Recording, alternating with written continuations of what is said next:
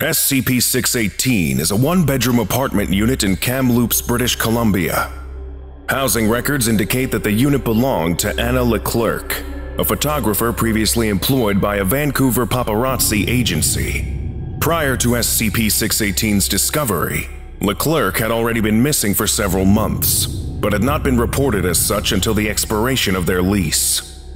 The contents of SCP 618, while in gross disarray, are generally unremarkable.